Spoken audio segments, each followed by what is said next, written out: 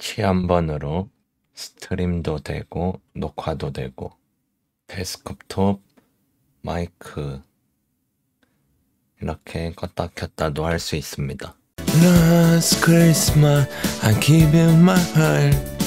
안녕하세요. 근님입니다. 오늘은 터치 포탈 설치 방법에 대해 알려드리고자 합니다. 일단 구글 창에 터치 포탈이라고 검색해 주세요. 그래서 다운로드가 아닌 이 홈페이지로 들어갑니다. 그 다음에 맨 밑에 내리면 이렇게 install desktop이 있습니다. 그래서 설치를 하면 됩니다.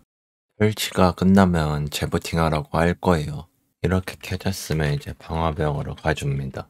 방화벽을 통해 앱 또는 기능 허용 이걸 눌러줍시다. 설정 변경을 눌러 다른 앱 허용 해서 찾아보기를 눌러주세요.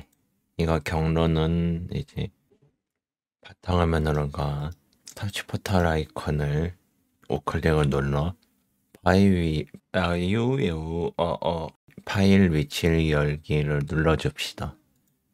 그 다음에 요 폴더 위에 경로를 복사. 그 다음에 찾아보기로 가 붙여넣기 해줍시다. 그러면 이렇게 폴더가 뜰 거거든요. 요 터치 포탈 exe 이걸 열기를 해줍시다. 그 다음에 추가.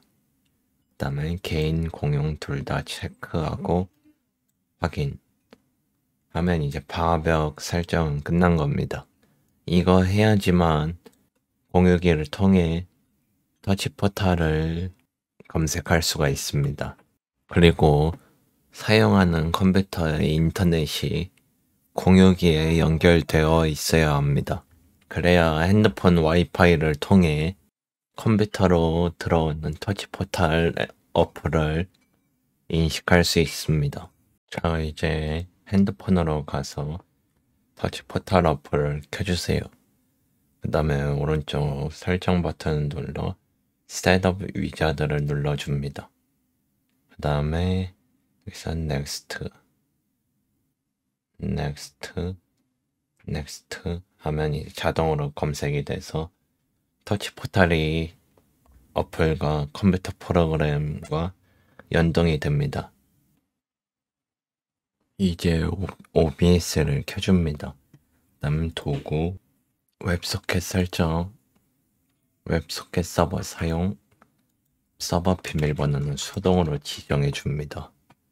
이거 이유는 이걸 수동으로 지정을 안 해주면 포탈에서 비밀번호가 필요한데 컴퓨터가 껐다 켜질 때마다 이 비밀번호를 다시 입력해야 되기 때문에 수동으로 지정해 주세요.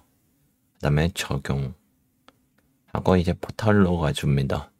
포털로 가서 여기 설정 세팅 밑으로 내리다 보면 여기 이렇게 start Windows boot랑 start boot minimize가 있는데 컴퓨터가 켜지면 자동으로 켜지게끔 이걸 다 이렇게 켜주세요.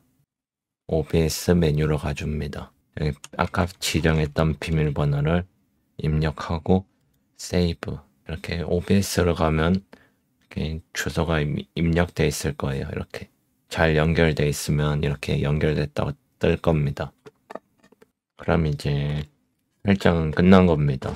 터치 한 번으로 스트림도 되고 녹화도 되고 데스크톱 마이크 이렇게 껐다 켰다도 할 수 있습니다. 만약 데스크톱 버튼을 눌렀는데 이게 안 꺼진다면 포탈로 들어가서 데스크톱을 더블 클릭해 줘서 이 OBS 소스 이거를 데스크탑 오디오로 둘 다 바꿔주세요. 마이크도 뭐 마이크 AUX로 돼 있을 텐데 안, 만약 마이크가 안 꺼진다면 마찬가지로 OBS 소스에서 마이크를 찾아 바꿔주면 됩니다. 그 다음에 저장하면 됩니다. 기본적인 설정은 끝났고요. 다음 영상에서는 클릭으로 화면 바꾸는 방법에 대해 세부적인 설정 같은 거 그런 걸 알아보겠습니다. 네. 오늘 영상 여기까지 안녕.